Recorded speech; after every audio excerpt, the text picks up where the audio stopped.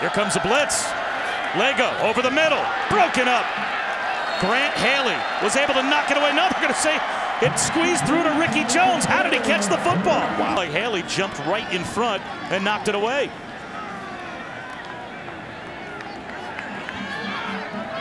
Haley did get his hands sure on the did. football and almost held it up. Sure did. And it was snatched away by Ricky Jones. What a play by the fifth year senior wide receiver just to keep some slim hope alive.